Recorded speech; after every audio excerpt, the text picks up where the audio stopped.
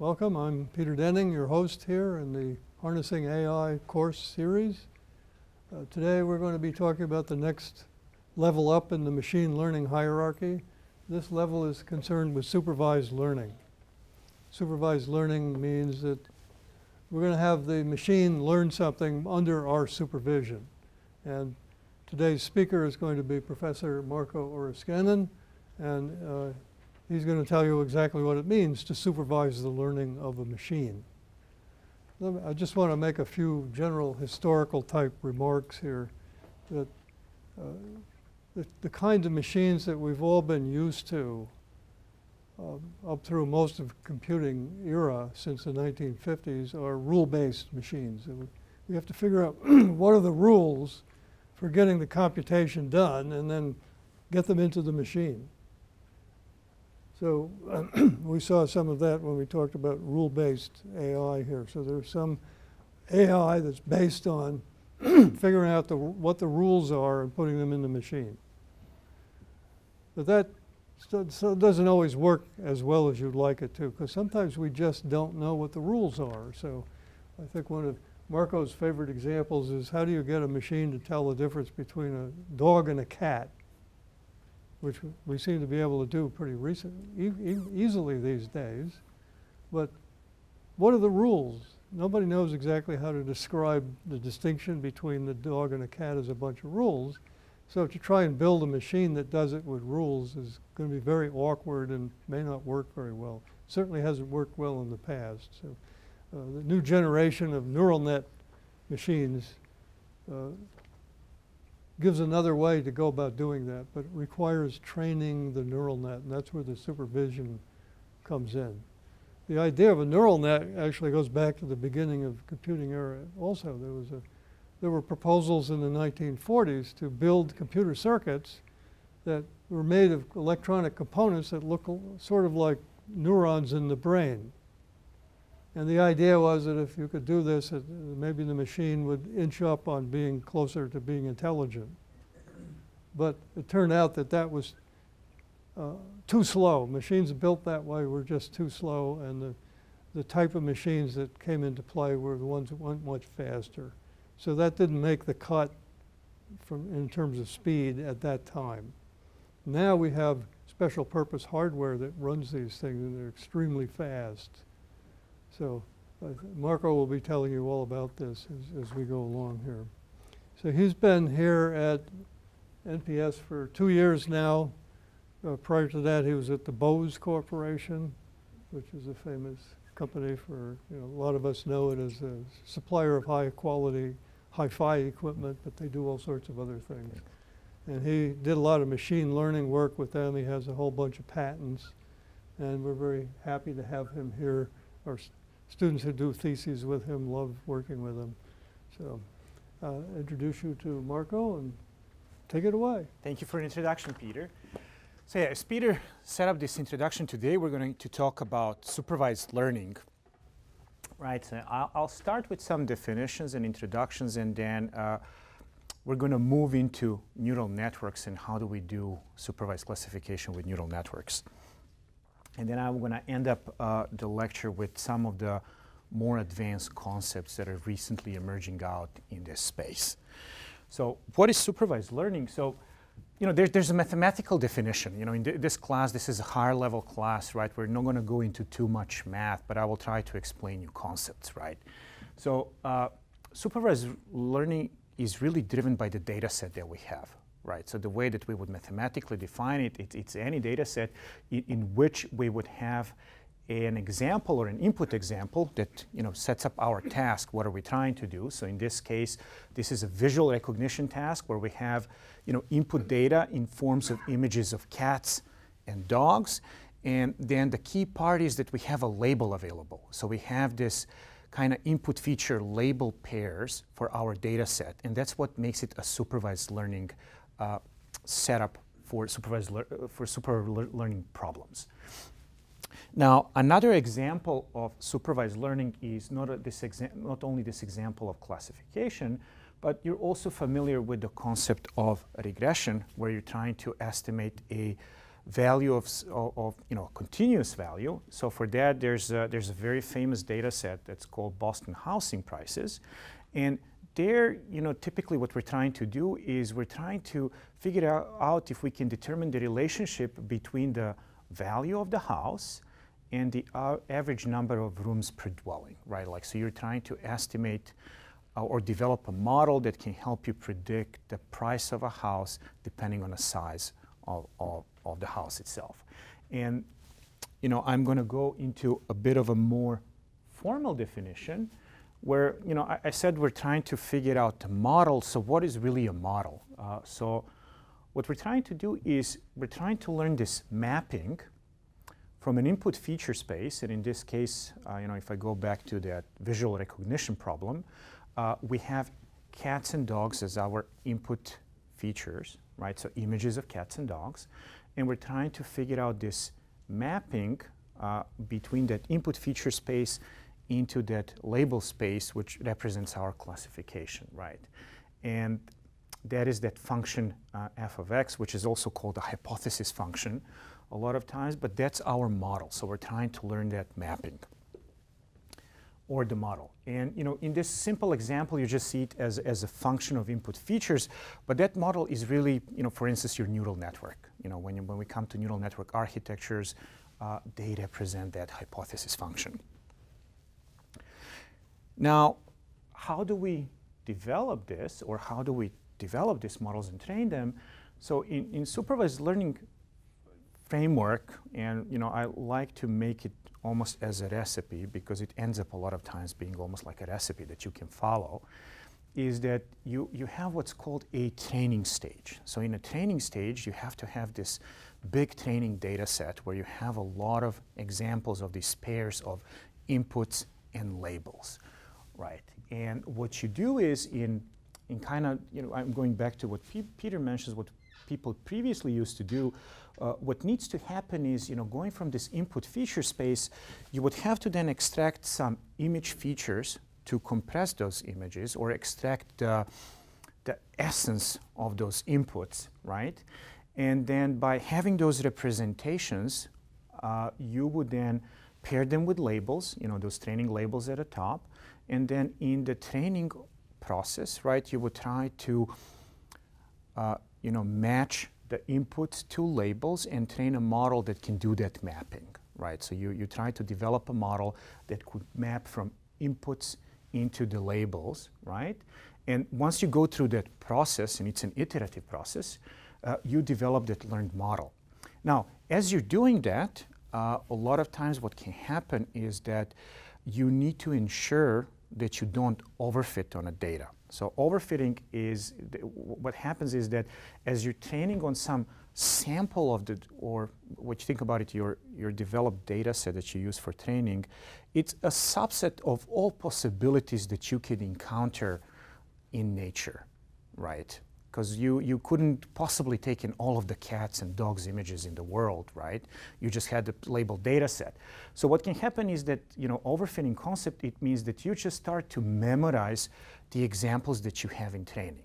In order to fight that, what we use, it's, it's called a validation loop that, that happens during the training, where you try to monitor yourself on, on some kind of a holdout data set to ensure that you're not overfitting. What that enables you is to have the ability to generalize later on when you start using your, your model on any new inputs that come in.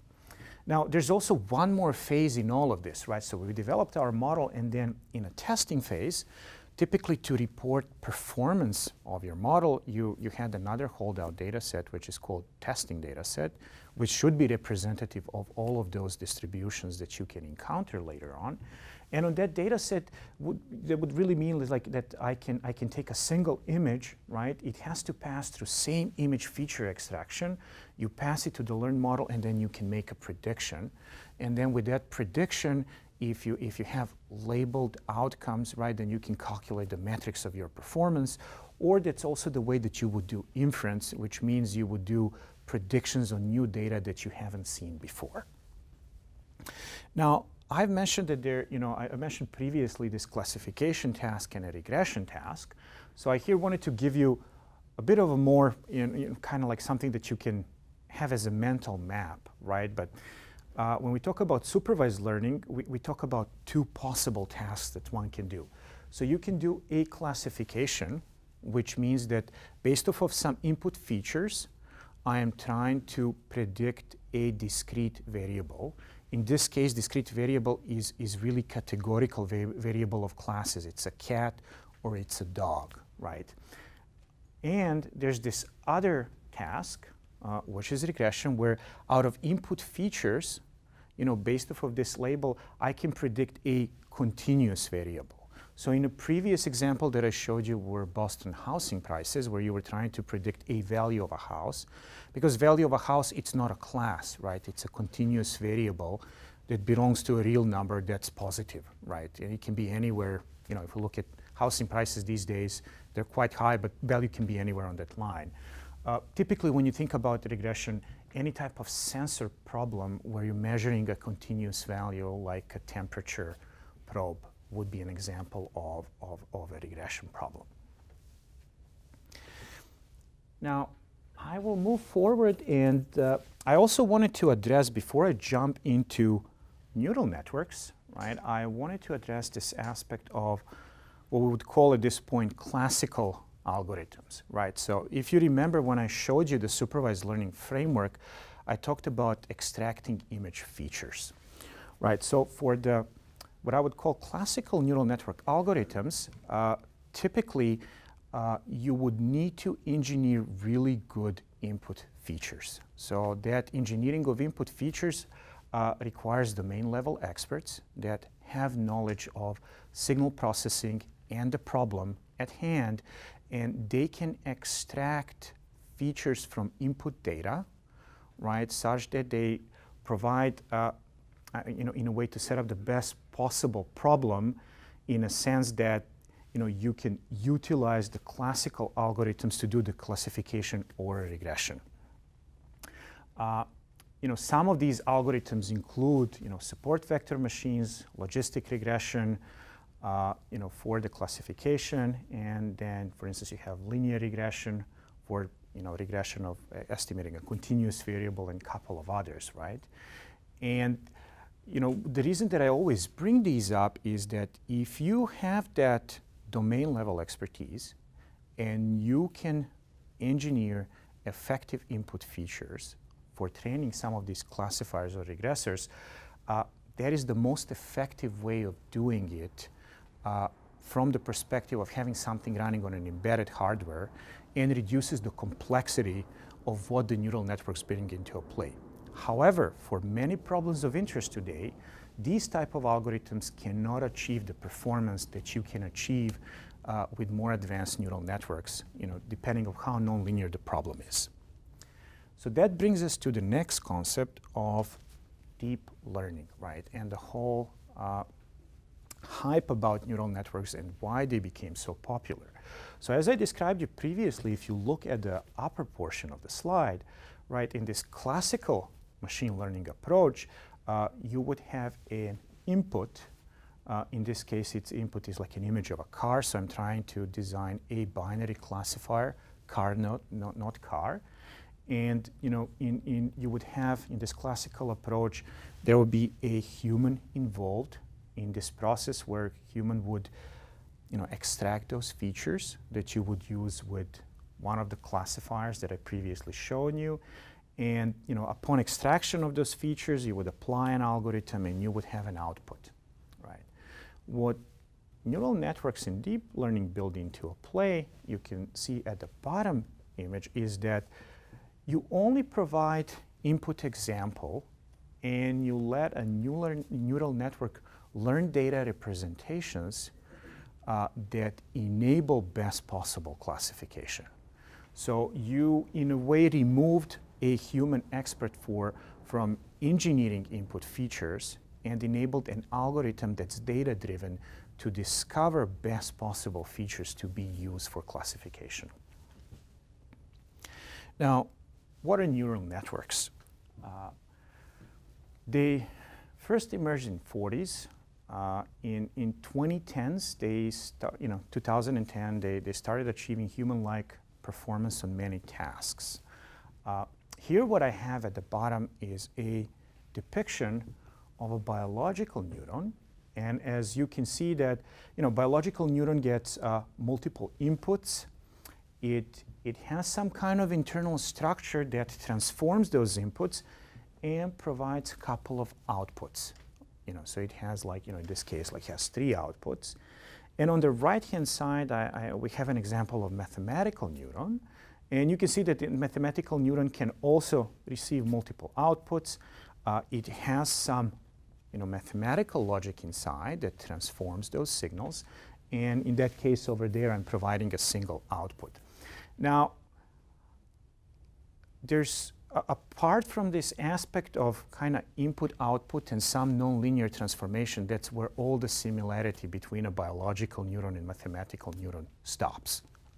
Right? It, it's just, you know, the, the mathematical description uh, really was inspired by biological description, but, uh, you know, you know, that, that's, that's where the similarity stops. I, I, would leave it there. And you should always then uh, really focus on understanding the mathematical aspect uh, of a neuron uh, as you start thinking about these systems.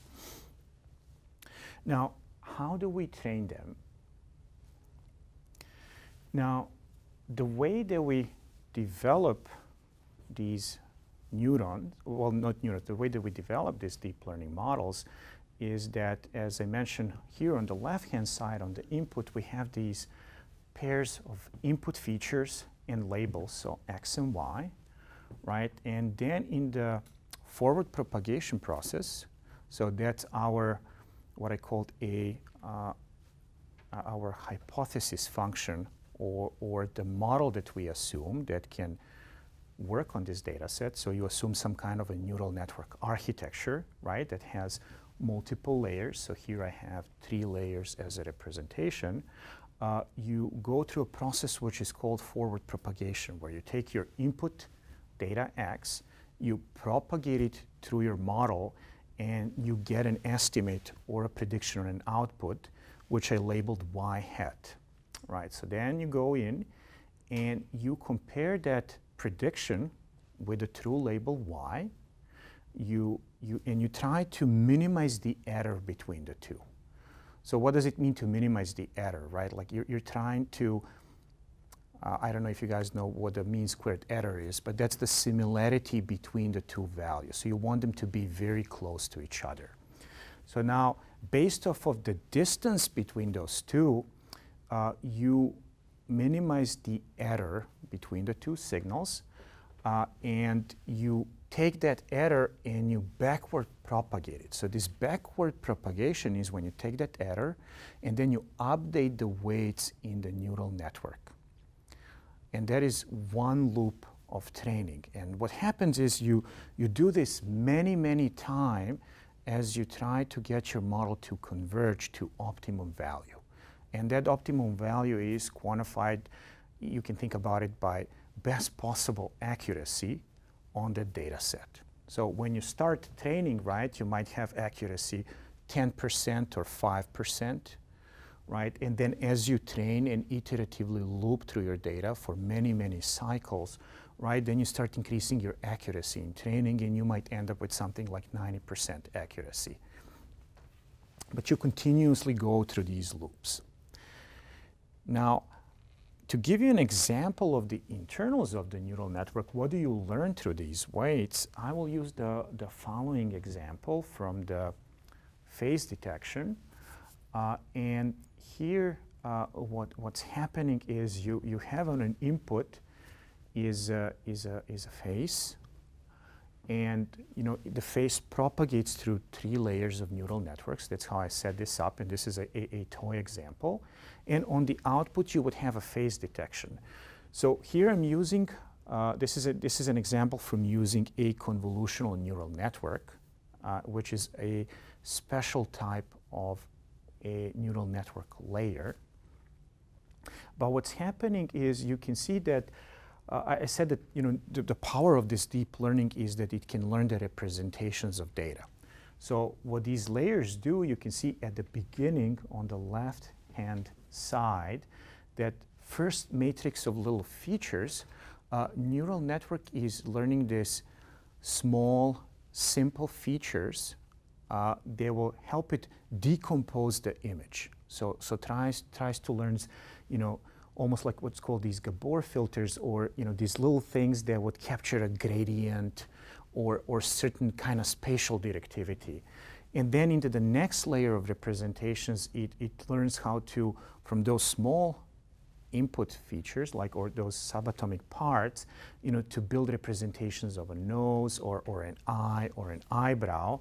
And then in the last layer, right before you do a classification, it learns to represent the whole faces, right? So once you get to this to this part where it can represent the whole faces, uh, typically in classification, that means that there's those are linearly separable, and you can pull, you know, you can kind of have a, a, classification boundary, you know, between the or the classification separation between a couple of different face classes that you're trying to detect.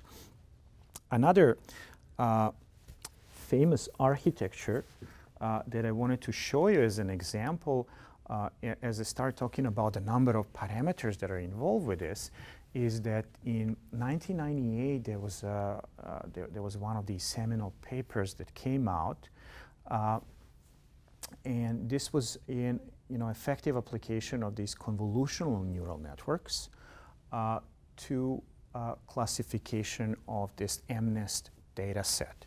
So the setup for that is that the you know, post office had a lot of, uh, you know, they collected a lot of data with uh, handwriting uh, because they needed an automated system to sort mail, right? So some of those data sets ended up uh, being uh, quantified and prepared and, and shared uh, with the broader community for development. And you know, the, really the MNIST data set is a hello world of AI at this point.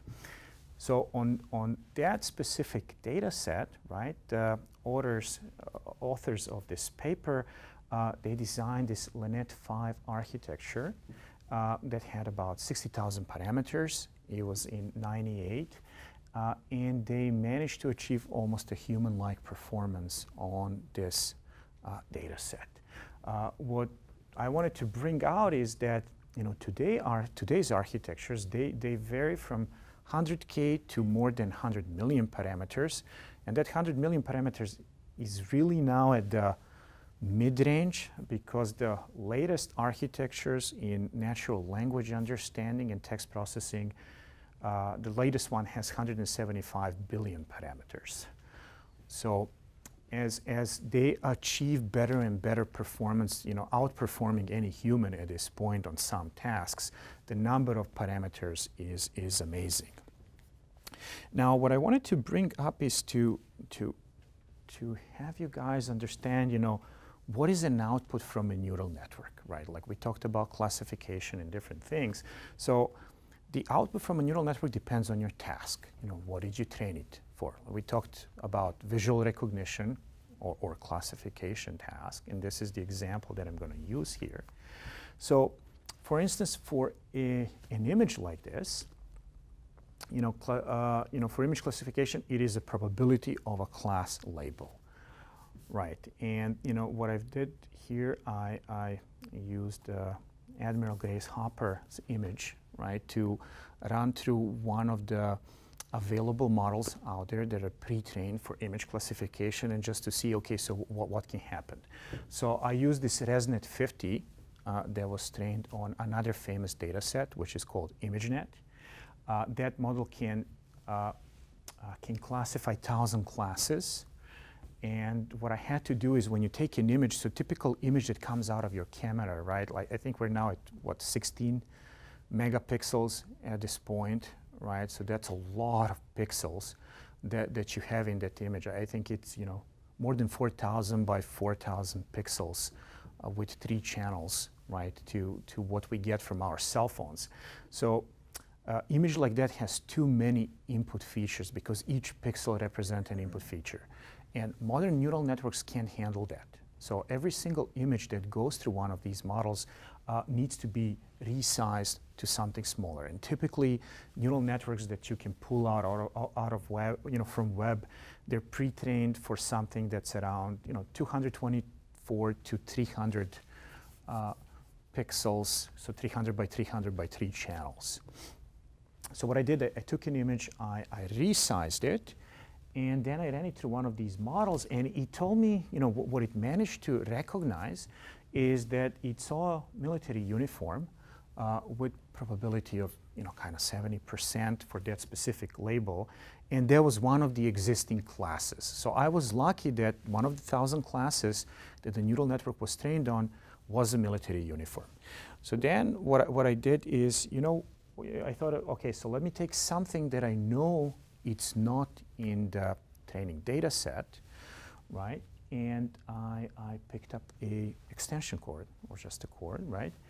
And I ran that through the neural network, and he thought it was a combination lock with probability of 0.5, right? Which really brings us to this point that if, you know, with this classical, now, now I'm going to start calling these classical neural networks, right?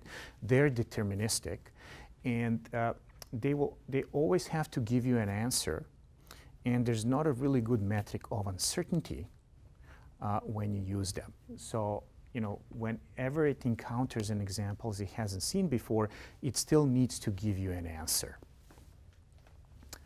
Now, another example that I wanted to give you is, you know, why is the deep learning on the rise is that, you know, a few years ago, the, you know, someone noticed that a single layer of mathematical neuron could be described by a matrix multiplication applied to its input vector. Uh, you know, GPUs are really good at such linear algebraic matrix calculations. And thank you, gamers, for making that hardware ubiquitous, you know, uh, across all of the machines, right? And then, you know, GPU supercomputers, uh, they can run millions of photos through CNN and train the network, right? So when I say that, I typically mean about something that's 100 million parameters, maybe a few hundred million parameters, and can train that in a couple of hours, right? And that assumes that you have like a 32 GPU cluster to run that. Uh, the other model, this GPT-3 175 that has billions of parameters, well, you need much more hardware and, and much more training time. And those are very expensive runs, right? Like you, you're, you're looking at hundreds of thousands of dollars to train a big model like that. Uh, and you know what's, what's interesting about neural networks is that once they're trained, because training is that iterative process that takes a lot of data, uh, you can label a new image uh, in milliseconds because you just pass one image through a pre-trained uh, neural network and that the inference is really fast. Now, some challenges of deep learning is that, you know, size of training data sets are enormous. You know, for that ImageNet data set, you know, it has about 10 million photos plus, right? Uh, you know, question is always how do you label? You know, do you label your data manually? You, know, you have to have a human labeler. Uh, can you use another machine? So I'll show you an example on passive sonar. You can, you can use AIS to, to label your passive sonar if you want to track, you know, man-made targets. Uh, there's also a question about, uh, you know, how much do you trust your training data sets? You know, there's a cyber security piece to it because then if you, if you use uh, if you use data sets that have been poisoned, you might be opening your models to vulnerabilities in future. Uh, you know, is there a bias in training data? You know, there was a lot of uh, news coverage over the last few years about a bias that's induced by not having uh, either proper labels or proper distributions within your data set. You know, think about that example of, of an extension cord and a key lock, right? Like you can, you can bias your, your, your, your system by just not having a representation of the classes that you might see, right, in the, in the wild out there later on. And then there's also this aspect of interpretability or explainable AI. Uh, you know, if you have a model that has five to 10 parameters, maybe you can explain it.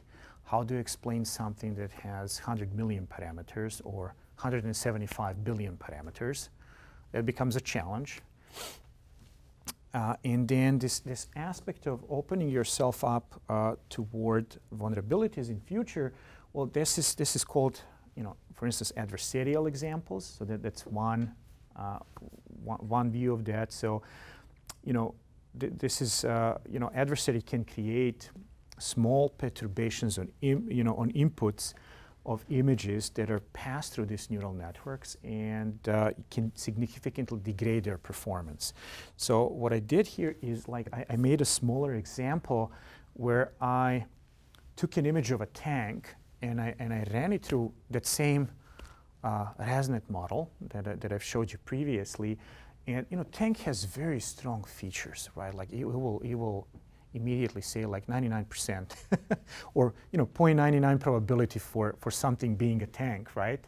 Uh, but then what you can do is I can craft an adversarial example where there, you know, I just perturb a little bit the pixels in an image uh, and it can classify a tank as a tow truck and that's the highest probability with 0.3. Everything else was lower probability. And the difference between the two images in, is in the last image, but it's almost at the noise level, the difference of, of pixels, right? And you know that's one thing to be mindful of. The other thing that I wanted to bring up is this uh, new and, emerging, uh, I would say, field within the deep learning and neural networks, which is called Bayesian deep learning. So you can think about it is that this is, this is blending of this classical and deterministic deep learning with Bayesian theory. And what that enables us is to get uncertainty in decision making. Right, so your classical you know, deterministic architecture on the left-hand side, right, is just has a single parameter per connection between those neurons. And in the Bayesian view, right, we don't have just a single parameter. We model distributions over weights. So weight is not a single number, but rather a distribution. So you can think about it, it could be a Gaussian distribution where we model mean and, and uh, variance uh, over weights. And what you can do with that, I, am going to, and this is how I'm going to end my lecture with, uh, this is an example of, of data with passive sonar classification. So here in Monterey Bay, we, we, we have a platform, it's called Mars Platform. NPS has a passive sonar sensor on it. And what we did is we collected about year worth of data from it, you know, automatically labeled it using an AIS signal and then developed one of these probabilistic models. And then what you can see in here is, uh, and I apologize, this is yeah, so latitude and longitude don't add up, but it, it's, down from San Diego, so it's a different data set. Uh, but the idea is that you know you have a ship that's going from left to right, and uh, not only can I classify a correct class, so correct, correct class here is class D, so which was a car carrier, right? So you, when you see in, where the X is at the center, that's my CPA, so that's where the, where the sensor is. And then when I'm far away from the sensor, right, these large circles represent the uncertainty. So I'm very uncertain as I'm far away and I'm making errors in my classification all the way to the left. And then as I move closer to sensor, right, I start becoming more confident in my decision making. I, I, make more accurate decisions. I become more confident, and then you can see, you know, uh, when I get to this point here, I'm very confident uh, in my decision making. And then when I get very close to sensor, right? Because uh, all these ships, uh, the signals become so strong that they overwhelm the sensor. Then I start losing a little bit of confidence, right? You see how my confidence goes down because I'm now in the 50th percentile for error. And then as I go away from the, from the sensor, right? Then I again gain my confidence. And when I get too far away, then I'm very uncertain again. And this is a nice example for many of you because this also reflects a bow and stern aspect. So as, as I'm coming into the sensor, right, uh, th this is about 12 kilometers. So when I get within 12 kilometers, then I'm very certain.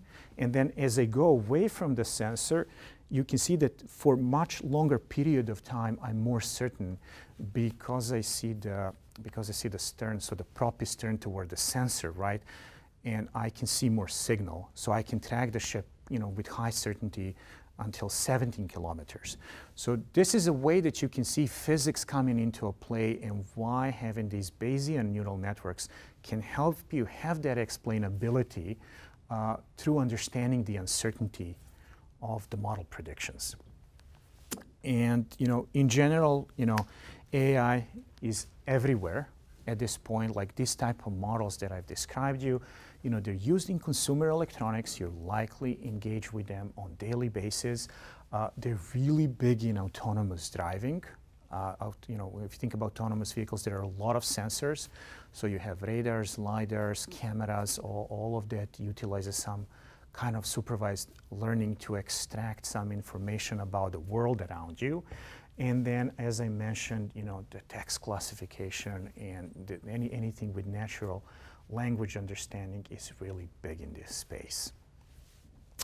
And that was all that I had for the lecture. I'm, I'm open to any questions that you might have.